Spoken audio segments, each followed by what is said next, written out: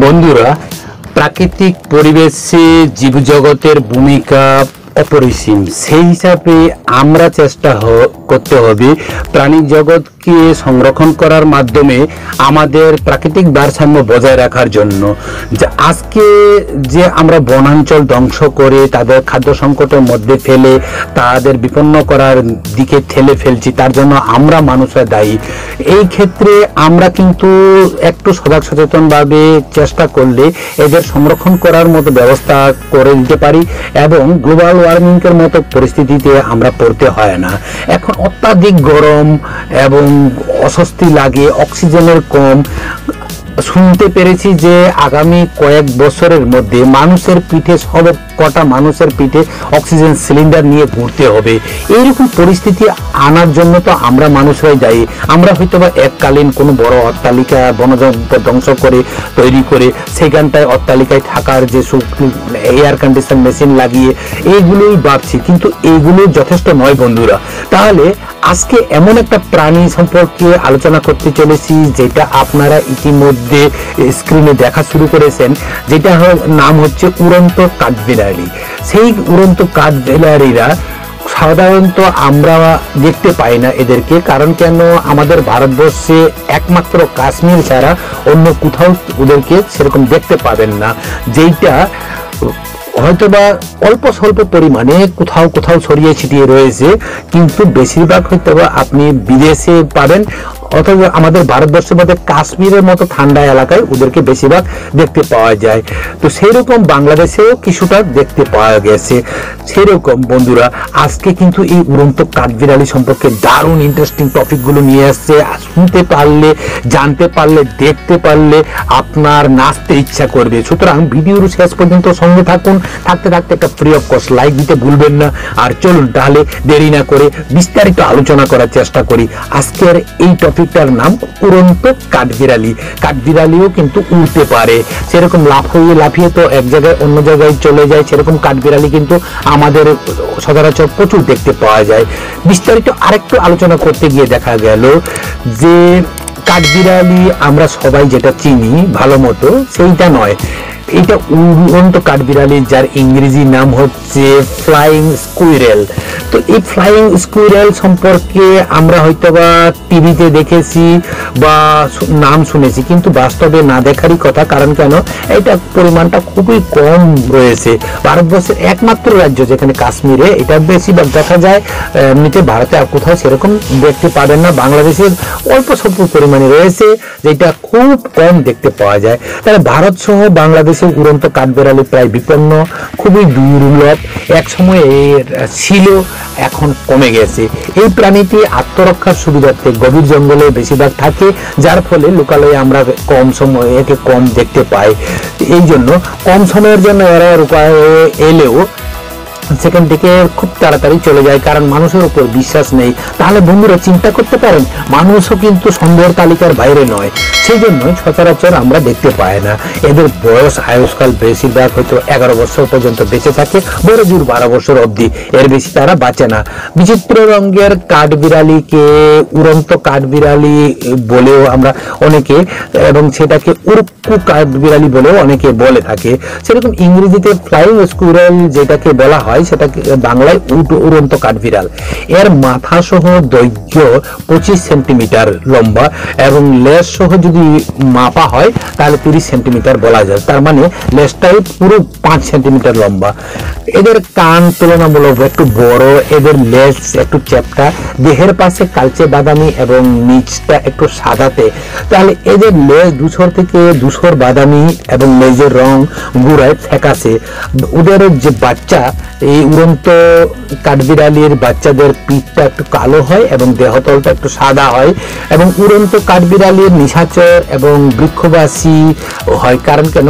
এরা ওই যে কিছুক্ষণ আগে আলোচনা করলাম মানুষের উপর তাদের ভরসা নেই। সুতরাং রাত্রেবেলা তারা গভীর, দিনের বেলা গভীর জঙ্গলে ঘুমায় এবং রাতে তারা খাবারের সন্ধানে এবং শিকার করার জন্য বেরোয় এবং বৃক্ষবাসী মানে তারা গাছের উপরে বেশিরভাগ কাটায়, যাতে চট করে কোনো প্রাণী যারা মাটিতে ঘুরে বেড়ায়, তারা যেন চট করে তাকে আক্রমণ না করতে পারে। পা থেকে এদের একটু রংটা গাঢ় বাদামি রঙের হয়। তো বন্ধুরা আমার এই ভিডিওর নিচে দেখেন ছোট্ট করে মোর লেখা আছে এম ও আর ই মোর এই মোর অপশনে টাচ করলে দেখবেন ডেসক্রিপশন বক্সে আমার সম্পর্কে বিস্তারিত তথ্যের পাশাপাশি আমি যে আপনাদের জন্য দুশো আড়াইশো খানা ভিডিও বানিয়েছিলাম, তার মধ্যে থেকে সেরা তিনটি ভিডিওর লিঙ্ক দিয়ে রেখেছি। ওই লিঙ্কে টাচ করে ভিডিও দেখে যদি একটু ভালো লেগে থাকে, তাহলে এই ভিডিওটা মাঝে মাঝে নিচে দেখুন, বাঁকানো তীর চিহ্নের মতো শেয়ার বাটন রয়েছে। সেই শেয়ার বাটনের মাধ্যমে আপনি আপনার বন্ধু বান্ধব এবং আত্মীয় স্বজনকে একটু শেয়ার করে দেবেন এই ভিডিওটা সোশ্যাল সাইটের মাধ্যমে। ফেসবুক ইনস্টাগ্রাম টুইটার হোয়াটসঅ্যাপের মাধ্যমে আপনি যদি শেয়ার করেন, তাহলে তারাও কিন্তু অনায়াসে জানতে পারবে এরকম গুরুত্বপূর্ণ তথ্যগুলো। এবং আমি চেষ্টা করব আরও ভবিষ্যতে ভালো ভালো ভিডিও নিয়ে আসার জন্য।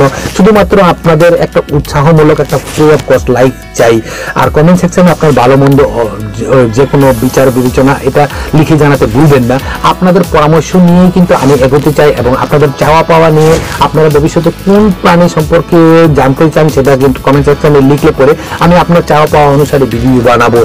এবং বন্ধুরা, আমার এই ভিডিওর নিচে অল্প ডান দিকে সাবস্ক্রাইব বাটন রয়েছে। আপনি যদি এখনও সাবস্ক্রাইব না করে থাকেন, তাহলে দয়া করে ওই সাবস্ক্রাইব বাটনে টাচ করে পাশের ঘণ্টার চিহ্নটাকে টিপে অল সেকশনটা জুড়ে রাখবেন। যাতে করে প্রত্যেক দিন ভারতীয় সময় সন্ধ্যে ছটায় এবং বাংলাদেশের সময় সন্ধ্যে সাড়ে ছটায় আমি এরকম গুরুত্বপূর্ণ তথ্যগুলো নিয়ে আপনার সামনে হাজির হব। আপনি আপনাকে কথা দিচ্ছি। সেরকম চলুন, বাকি যে কথাগুলো এই উড়ুক্কু বিড়াল সম্পর্কে বা উড়ন্ত কাঠবিড়ালি সেটা সম্পর্কে বাকি অল্প কথাটা শেষ করে আমি ভিডিওটা শেষ করছি। আপনার মূল্যবান সময় আমি নষ্ট করতে চাই না বন্ধু। তাহলে ফ্রি অফকোর্স একটা লাইক দেওয়ার পাশাপাশি একটু মনোযোগ দিয়ে শুনবেন। আজকের বাকি অংশটা কিন্তু খুবই গুরুত্বপূর্ণ হতে চলেছে নানান রঙের উড়ন্ত কাঠবিড়ালি এক গাছ থেকে অন্য গাছে, বিশেষ করে দুশো পর্যন্ত উড়তে এবং লাফাতে পারে। উড়ার সময় এরা পেছনের লেজকে লাগাম হিসাবে ব্যবহার করে এবং পরিবেশ দূষণ সহ খাদ্য সংকটের কারণে এদের গড় আয়ু কমছে। বিশেষ করে এই পরিবেশ দূষণ বলতে পারেন বা বনাঞ্চল ধ্বংসের ফলে এদের খাদ্য সংকট দেখা দিচ্ছে এবং এদের আয়ু কিন্তু কমে যাচ্ছে। উত্তর ভারতে শুধুমাত্র কাশ্মীর অঞ্চলে এদেরকে বেশি পরিমাণে দেখতে পাওয়া যায় এবং ভারতের অন্য কোথাও খুব কম সময়ে দূর ভবিষ্যতে এদেরকে দেখতে পাওয়া যায়। সুতরাং তাদের সংখ্যা যে বিপন্ন হয়ে গেছে আইএনসিইউর তালিকায় জিও হতে চলেছে, এটা কিন্তু শিওর হয়ে গেছে। তো বনাঞ্চল খুব একটা যেখানে সেখানে একটু আধটু রয়েছে, সেখানটাতেই ওদেরকে দেখতে পাওয়া যায়।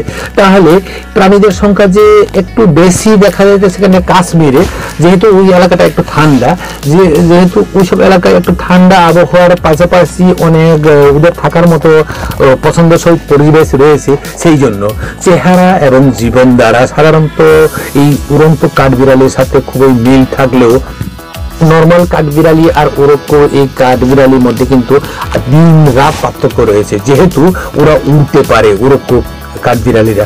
প্রজননকালে, বসন্তকালের শেষে মানে গ্রীষ্মকালের শুরুতেই শারীরিক মিলনের পর গর্ভকাল সর্বাধিক উনচল্লিশ দিন স্থায়ী হয় এবং চল্লিশ দিনের দিনে সন্তান প্রসব করে।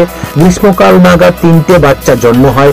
বাড়িতে উড়ন্ত কাঠবিড়ালি পোষ মানাতেই পারেন কিন্তু কিন্তু এটা যেহেতু আইন বিরোধী, সেই এছাড়া আরও অনেক রকম সমস্যা রয়েছে, সেই কথাটা কিন্তু আপনাকে মাথায় রাখতে হবে। বিশেষ করে বন আইন বিরোধী বলতে আপনার যদি উড়ন্ত কাঠবিড়ালি আপনার বাড়িতে এসে পুষ মেনেও যায় আপনি কিন্তু মাথায় রাখবেন কিছু কিছু জরুরি কথা। বিশেষ করে বন দপ্তর যদি জানতে পারে যে আপনি বন প্রাণীকে পোষার চেষ্টা করছেন তাকে ভালোবেসে ফেলেছেন সেই আহ, কিন্তু আপনাকে বন আইনের বিরোধীতে জেল জরিমানা পর্যন্ত হতে পারে।